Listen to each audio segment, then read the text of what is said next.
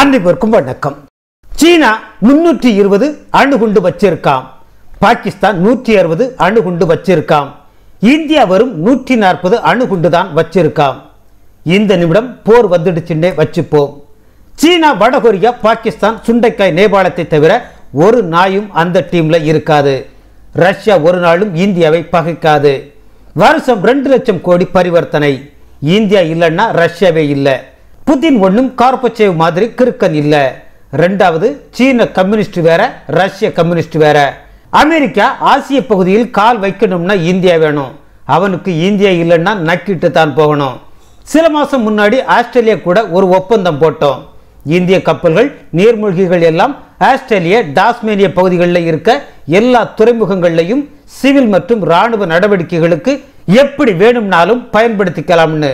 America Australia Japan Taiwan தென்கொரியா இப்படி சர்வ திசையிலும் எதிரியை வச்சிருக்க சீனா இந்தியாவிடம் வாளை ஆட்டினால் வால் மட்டுமல்ல ஒட்டுமொத்த சாமானும் நறுக்கப்பட்டுவிடும்.